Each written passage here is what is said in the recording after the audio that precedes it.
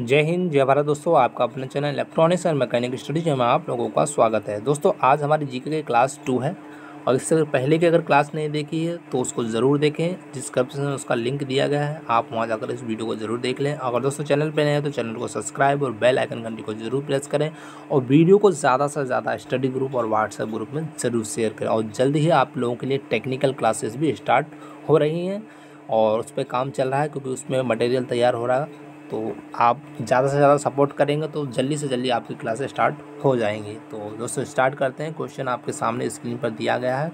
सिंधु घाटी सभ्यता के किस शहर का शाब्दिक, जो शाब्दिक अर्थ मृतकों का टीला है तो आपको बताना इसमें से। ऑप्शन ए है मेसोपोटामिया, ऑप्शन सी हमारा बालाकोट, ऑप्शन बी है मोहन ऑप्शन डी है हड़प्पा। तो आपको बताना इसमें से राइट आंसर कौन सा होगा। तो सभी साथी जल्दी से कमेंट करेंगे इसका राइट आंसर कौन सा होगा। तो जो भी स्टूडेंट्स का राइट आंसर कर रहे हैं ऑप्शन नंबर बी मोहन जोदड़ो, जो कि सिंधु घाटी सभ्यता का एक शहर है, जिसको मृतकों का टीला कहते हैं। और जो मोहन जोदड़ो है दोस्तों, ये पाकिस्तान के, कहाँ पर? ये पाकिस्तान ये पाकिस्तान के लरकाना ज़िले में स्थित है। और मोहन जोदड़ो की जो खोज की गई है दोस्तों, किसने की? मोहन जोदड़ो की खोज राखल राखल दास बनर्जी ने। किसने की? राखल दास बनर्जी ने। किसकी? मोहन मोहनजोदड़ो की खोज की। और कब की गई? ये की गई है 1922 में खोज की गई है। और दोस्तों, ये आपके फैक्ट थे। आपको अच्छे से याद कर लेना, क्योंकि यहाँ से क्वेश्चन आपसे पूछा जा सकता है। तो नेक्स्ट क्वेश्चन देखते हैं दोस्तों। तो नेक्स्ट क्वेश्चन आपकी स्क्रीन पर दोस्तों ये रहा, जो आपसे पूछा गया, आप देख सकते हैं यहाँ पर। मोहनजोदड़ो कहाँ स्थित है? ऑप्शन ए है खैबर नखवा ऑप्शन बी है पंजाब, ऑप्शन डी है सिंधु, ऑप्शन सी है बलूचिस्तान। तो आपको बताना इसमें राइट आंसर कौन सा होगा? जल्दी से सभी साथी कमेंट करेंगे इसका राइट आंसर तो जो भी स्टूडेंट्स का राइट आंसर कर रहे हैं ऑप्शन नंबर डी उनका करेक्ट होगा। सिंधु मतलब जो था, पाकिस्तान। पाकिस्तान। जो क्या है? जो सिंध है, जो पाकिस्तान में स्थित है और ये पाकिस्तान के लरकाना ज़िले में मोहनजोदड़ो स्थित है। तो नेक्स्ट क्वेश्चन देखते हैं। नेक्स्ट क्वेश्चन है, सिंधु घाटी सभ्यता के निम्न में से किस स्थल को सबसे पहले खोजा गया था? कौन से स्थल को सबसे पहले खोजा गया था, आपको बताना है। और ये प्रीवियस एग्ज़ाम में पूछे हुए क्वेश्चन है। तो आपको बताना है ऑप्शन ए है मोहनजोलो ऑप्शन बी है हड़प्पा ऑप्शन सी है लोथल। ऑप्शन डी है काली बंगा। तो आपको बताना इसमें राइट आंसर कौन सा होगा? तो जल्दी से सभी साथी कमेंट करें इसका राइट आंसर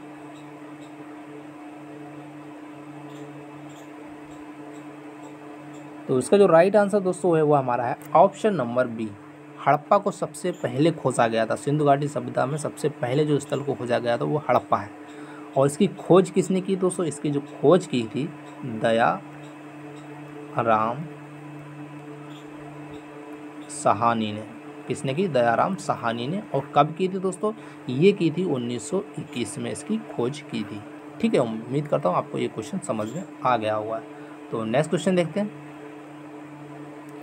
तो नेक्स्ट क्वेश्चन है, पुरातात्विक स्थल सुरकोटदा सॉरी सुरकोटडा किस राज्य में स्थित है? ऑप्शन ए है, राजस्थान ऑप्शन बी है पंजाब ऑप्शन सी है बिहार ऑप्शन डी है गुजरात। तो आपको बताना इसमें से राइट आंसर कौन सा होगा? तो सभी साथी जल्दी से कमेंट करेंगे इसका राइट आंसर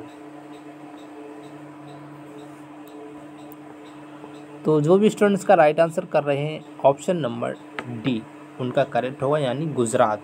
जो सुरकोटदा कहाँ स्थित है? किस राज्य में?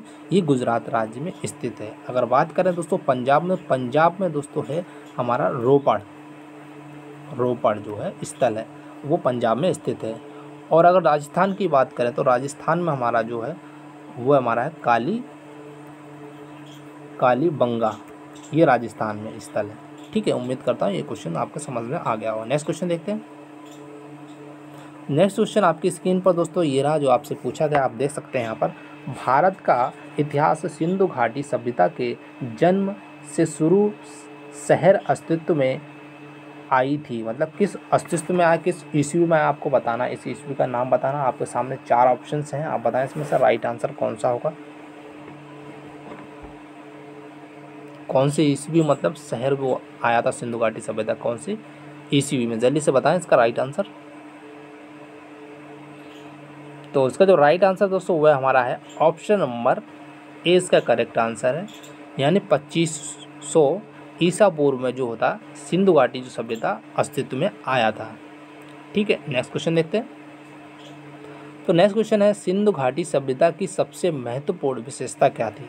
ऑप्शन दिएँगे ऑप्शन है, वस्तु विनिमय प्रणाली ऑप्शन बी स्थानीय परिवहन प्रणाली ऑप्शन सी हमारा ईट के बने भवन ऑप्शन डी है, प्रशासनिक प्रणाली। तो आपको बताना इसमें से राइट आंसर कौन सा होगा? तो सभी साथी इसका राइट आंसर कमेंट करेंगे।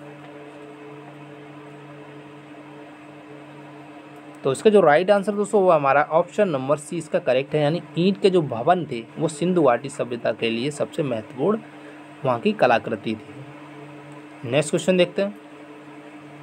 नेक्स्ट क्वेश्चन आपकी स्क्रीन पर दोस्तों, ये रहा, सिंधु घाटी सभ्यता है। तो आपको बताना कैसी सभ्यता है? ऑप्शन ए ताम्र युगीन सभ्यता है। ऑप्शन बी लौह युगीन सभ्यता। ऑप्शन सी है, अच्छी युगीन सभ्यता। ऑप्शन डी है, काश युगीन सभ्यता। तो आपको बताना है राइट आंसर कौन सा होगा? तो सभी साथी जल्दी से कमेंट करें इसका राइट आंसर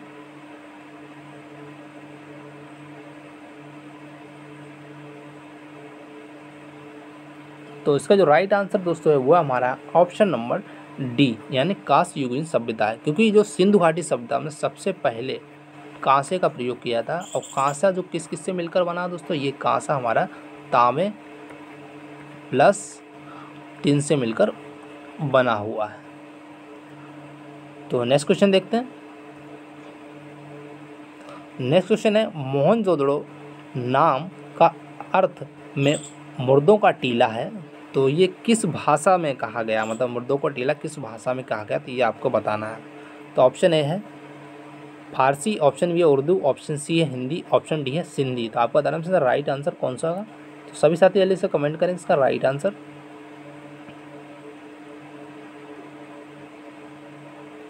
तो इसका जो राइट आंसर दोस्तों, वह हमारा है option number D right answer मतलब सिंधी भाषा में जो मोहन जोदड़ो का जो नाम का अर्थ है मुर्दों का टीला सिंधी भाषा में कहा गया है। नेक्स्ट क्वेश्चन देखते हैं।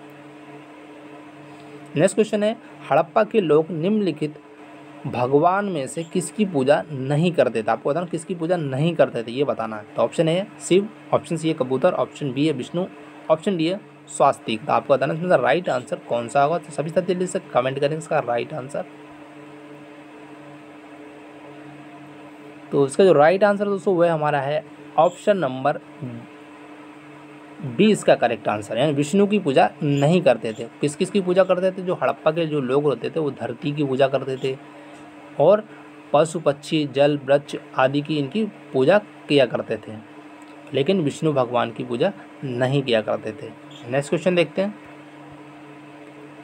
नेक्स्ट क्वेश्चन, सिंधु घाटी सभ्यता के लोग किस मतलब किसकी पूजा करते थे? आपको पूजा किसकी पूजा करते थे? तो ऑप्शन है हनुमान, ऑप्शन सी है अयप्पा, ऑप्शन बी है काली, ऑप्शन डी है पशुपति। तो आपको बताना इसमें राइट आंसर कौन सा होगा जो सिंधु घाटी की सभ्यता के लोग पूजा करते थे?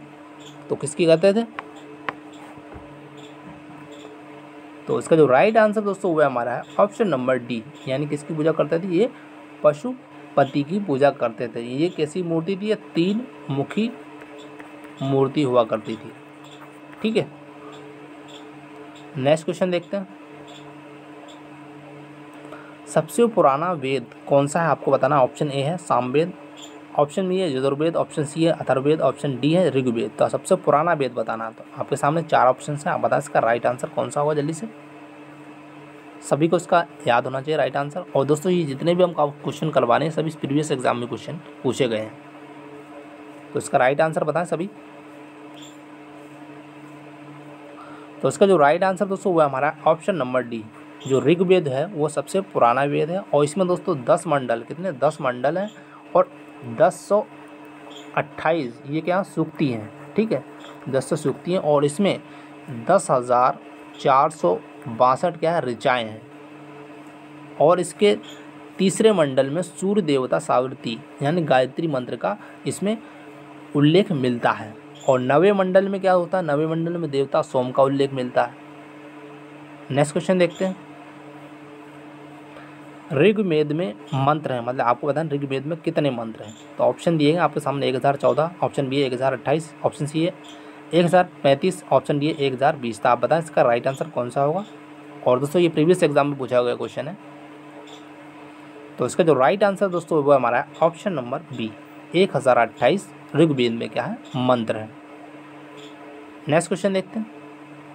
नेक्स्ट क्वेश्चन है, निम्नलिखित में किस वेद में संगीत से संबंधित ज्ञान संग्रहित है तो ऑप्शन दिए गए ऑप्शन है ऋग्वेद। ऑप्शन सी है, सामवेद। ऑप्शन बी है अथर्वेद ऑप्शन डी है, यजुर्वेद। तो आपको बताना इसमें से कौन सा राइट आंसर होगा जो संगीत से संबंधित है? आप बताएँ जल्दी से राइट आंसर तो इसका जो राइट आंसर दोस्तों, वह हमारा है। ऑप्शन नंबर सी इसका करेक्ट आंसर सामवेद में क्या है? संगीत से संबंधित है। और इसमें जो शाम का अर्थ है मतलब शाम का जो अर्थ है, वो होता है गान। ठीक है?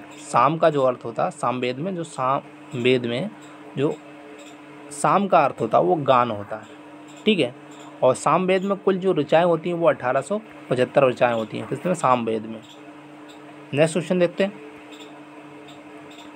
नेक्स्ट क्वेश्चन आपकी स्क्रीन पर दोस्तों ये रहा जो आपसे पूछा गया, आप देख सकते हैं। यहाँ पर मुंडक उपनिषद किससे संबंधित है? तो किससे संबंधित? ऑप्शन है सामवेद से, ऑप्शन सी है यजुर्वेद से, ऑप्शन बी है अथर्वेद से, ऑप्शन डी है ऋग्वेद से। आपको बताना इसमें राइट आंसर कौन सा होगा?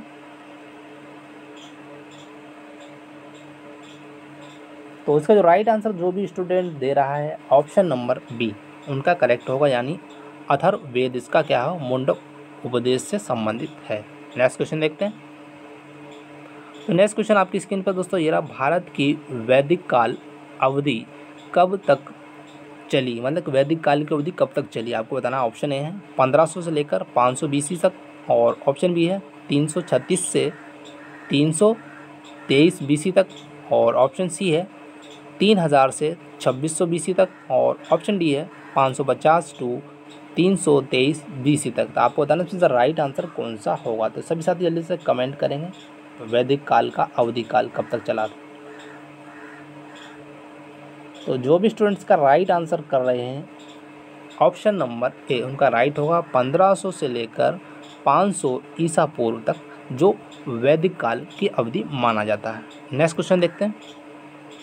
नेक्स्ट क्वेश्चन है, निम्नलिखित में से कौन सा वेद जादुई अनुष्ठानों और वसीकरण के बारे में बताता है। तो कौन सा बताता है? ऑप्शन ए है अथर्वेद ऑप्शन सी है ऋग्वेद, ऑप्शन बी है सामवेद, ऑप्शन डी है यजुर्वेद। आपको बताना इसमें राइट आंसर कौन सा होगा? तो सभी साथी जल्दी से कमेंट करेंगे, इसका राइट आंसर सभी को याद होना चाहिए। और दोस्तों, ये हम जितने क्वेश्चन ला रहे हैं, बहुत ही इंपॉर्टेंट क्वेश्चन है। और आपको ये टू ट्वेंटी की सीरीज़ डेली मिलेगी, आपको इसी तो जो भी स्टूडेंट्स का राइट आंसर कर रहे हैं ऑप्शन नंबर ए उनका राइट आंसर होगा। यानी अथर्वेद जो हमारा है, वो वेद जो है, जादुई अनुष्ठानों और वसीकरण से संबंधित बताता है। नेक्स्ट क्वेश्चन देखते हैं। नेक्स्ट क्वेश्चन है, यजुर्वेद में यजुर का अर्थ क्या है? ऑप्शन ए है जीवन ऑप्शन बी है प्रकृति ऑप्शन सी है बलिदान ऑप्शन डी है सत्य। आपको बताना इसमें राइट आंसर कौन सा होगा? जो भी स्टूडेंट्स का राइट आंसर कर रहे हैं ऑप्शन नंबर सी मतलब यजुर, वेद में जो यजुर का अर्थ है, वह क्या है? बलिदान है। क्या है? बलिदान। क्या बलिदान। ठीक है? नेक्स्ट क्वेश्चन देखते हैं। नेक्स्ट क्वेश्चन है, निम्न में से किस वेद में बीमारियों का उपचार दी मतलब उपचार दिया गया है? ऑप्शन ए है, ऋग में। ऑप्शन ए है, Yajur. Option D Atharva. Option C है शाम तो आपको बताना राइट आंसर कौन सा होगा? तो सभी साथी जल्दी से कमेंट करें कि इसका राइट आंसर तो जो भी स्टूडेंट्स का राइट आंसर कर रहे हैं ऑप्शन नंबर डी उनका राइट हो। अथर्व मतलब अथर्ववेद में क्या है? बीमारियों के उपचार को दिया गया है। किसमें? अथर्ववेद में दिया गया बीमारियों के उपचार के बारे में। नेक्स्ट क्वेश्चन देखते हैं।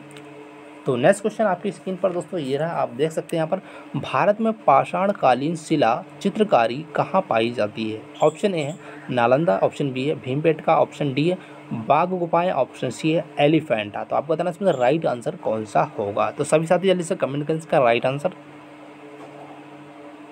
तो जो भी स्टूडेंट्स का राइट आंसर कर रहे हैं option number B Bhimbetka. इसका करेक्ट आंसर होगा।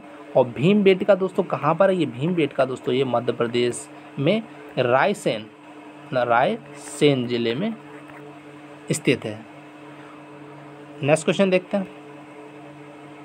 नेक्स्ट क्वेश्चन है, धोलावीरा किस राज्य में स्थित है? ऑप्शन है Gujarat option B Jharkhand option C है राजस्थान ऑप्शन डी है छत्तीसगढ़। तो आपको बताना इसमें राइट आंसर कौन सा होगा? तो सभी साथी जल्दी से कमेंट करें इसका राइट आंसर तो जो भी स्टूडेंट्स का राइट आंसर कर रहे हैं ऑप्शन नंबर ए उनका राइट आंसर होगा। यानी धोलावीरा जो है, गुजरात राज्य में, गुजरात के मतलब जो कच्छ है, कच्छ ज़िले के जो भा भचाऊ मतलब भचाऊ तालुका में स्थित है। और दोस्तों, अगर बात की जाए, जो धोलावीरा है, इसको यूनेस्को में, यूनेस्को की श्रेणी में 2021 में शामिल किया गया है। नेक्स्ट क्वेश्चन देखते हैं। और दोस्तों, हमारे टू ट्वेंटी की क्वेश्चन कंप्लीट हुई।